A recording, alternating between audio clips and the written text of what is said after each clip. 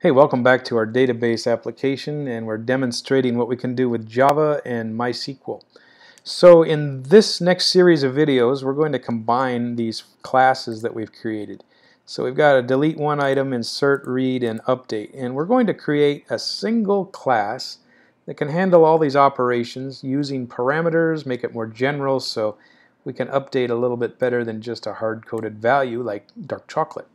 So let's create a new uh, a new container here and we'll call this a new package. And this package is we're going to call it uh, database stuff. So let's just name it database.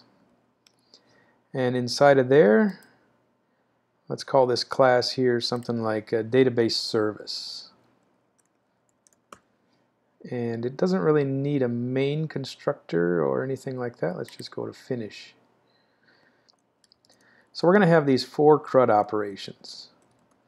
And the first one, we're going to call it, um, let's call it delete one.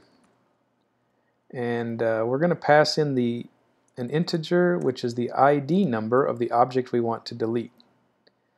And let's see, we need a return value on that. So let's go with an integer, and then somewhere in here we're going to return the uh, number of rows affected. Okay, so that's kind of the goal where we're headed. And let's see, we got to declare that. I guess I better put that inside of the brackets. So we're going to declare that as number of rows affected. And we'll start off with 0. Okay, and then between those two statements has to go all of our database work. So there's the first class we're going to create. Uh, the next one is going to be um, insert one value. And now this time we want to insert and give it an object name. So our object name, we're going to call it a the letter B. And that is going to stand for a beautiful thing.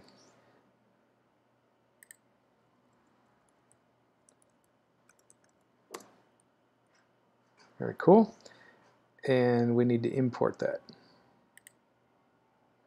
Same thing happens here. We're going to do rows affected and return it.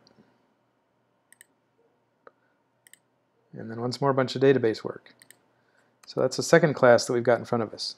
So what have we got so far? We got read all. We haven't done that. Delete and insert. Let's do read all. So let's make a public and integer. No, this time it's going to be a list.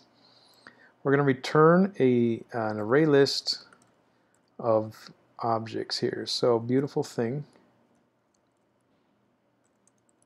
is the type and it's a list of it.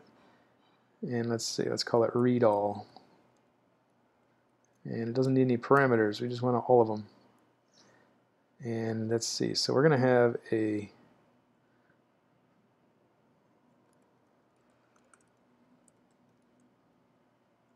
and we'll call it everyone and we'll make it a new array list.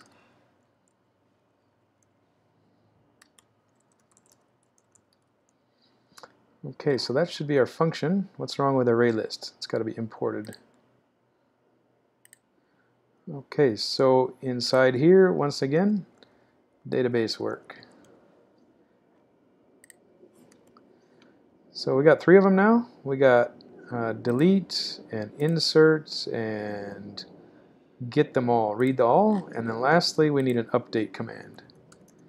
And let's see, an update is either success or fail, so we're going to do an integer, the number of rows that are affected here. So update 1, and we're going to give this thing a value of the so this thing's going to need two values. First of all, we need the integer of the ID number of the item we want to change.